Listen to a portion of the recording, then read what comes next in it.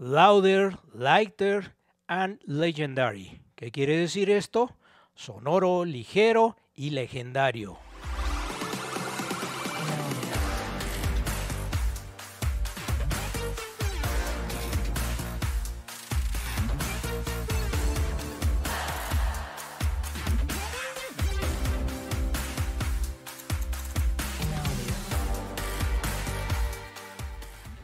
¿Qué tal amigos? Mi nombre es Antonio Legorreta y yo les comentaré algo acerca de la marca japonesa Yamaha, el modelo DXR10MK2 Mark II. Pues bien, estamos en presencia de una nueva edición de estos altavoces tan afamados y por lo cual si tú estás pensando en una situación en donde es bastante exigente el control que vas a tener al interpretar tu música como monitoreo o si lo vas a utilizar para un refuerzo sonoro y tengas un excelente sonido, pues esta es una opción que te interesará para ello. Muy bien, vamos a revisar sus características. La primera de ellas es de que para desarrollar la nueva gama Mark II MK2 se recurrió a la experiencia de la compañía francesa Nixo para poder desarrollar entonces un monitor de escenario que tenga características de sonido preciso, pero y también, ¿por qué no pensarlo en un sonido instalado que suene pues bastante bien? Si vamos a observar entonces en primer lugar su gabinete, este está fabricado en un polímero plástico llamado ABS. El ABS tiene características en las cuales una es de alta resistencia, Dos, es ligero. Y tres, lo más importante, sus propiedades acústicas, ya de que el diseño del gabinete pues no se va a inflar como globo, sino de que se va a mantener rígido para poder entonces entregar un sonido natural y sin colorear. Ok, por la parte de arriba hay un asa para poderlo transportar. Sí es un poquito pesado, pero no tanto como hubiera pensado pesa en este caso 13.9 kilogramos, casi 14 kilos. Y tú lo puedes entonces llevar para allá y para acá con esta asa. Pero si estás pensando en una situación de sonido instalado, tiene puntos para colgarse de ringing y entonces quede ya permanente fijo en el lugar que hayas decidido para poderlo colocar. La rejilla está hecha en metal y hay un LED en este caso que te está mencionando de que sí estoy prendido, sí estoy funcionando para eso. Ok, ¿qué más tenemos? Tiene la forma también para acomodarlo precisamente como monitor escenario y quede inclinado. Muy bien. Por la parte de abajo, este altavoz se puede montar, por ejemplo, con un tripié, de forma tal de que si tú eliges que quede en este ángulo a 90 grados, pues tengas entonces un tiro de esta forma. Pero si no, entonces puedes seleccionar el de 7 grados para que esté inclinado por si tu escenario está elevado para este propósito. Ok, vamos a darle la vuelta y a esto haremos un acercamiento y ver las características que tiene por detrás.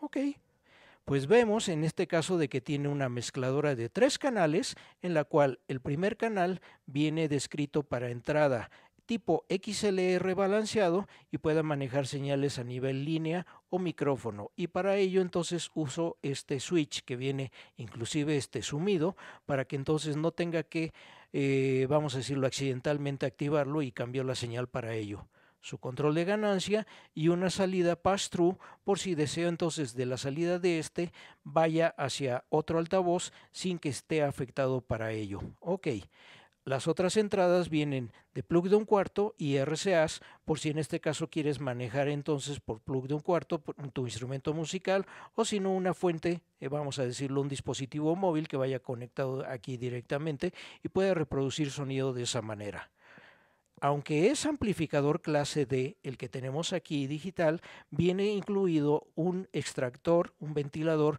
para sacar todo el calor que se genera dentro del gabinete y entonces funcione de una manera pues estable y tranquila el amplificador para ello.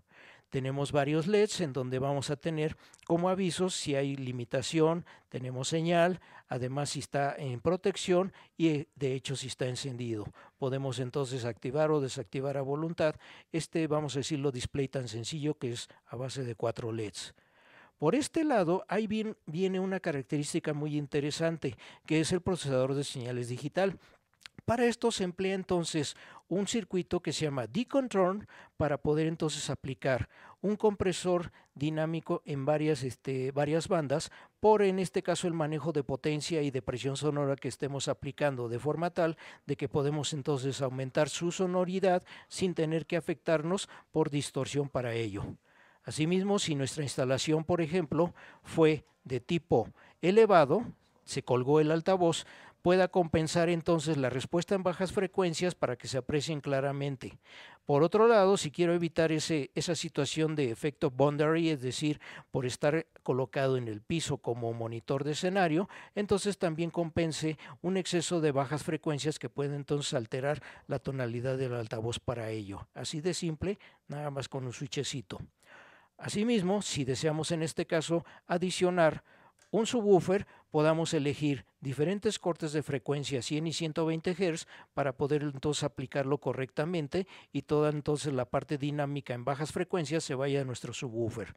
Ok, además en esta otra salida viene a nivel balanceado por XLR si queremos entonces que salga nuestra salida a nivel eh, estéreo o mono para ello. Entonces tú puedes tener un mejor control de lo que quieras hacer en un momento dado. Ok, vamos a volverlo a girar y hablemos acerca ahora de las aplicaciones que podíamos tener con este altavoz.